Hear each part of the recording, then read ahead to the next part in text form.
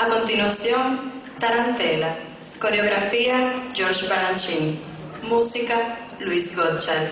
Intérpretes, Patricia Piñón y Pavel Pérez. Examen estatal integral. Montaje, profesora Lourdes Arnao.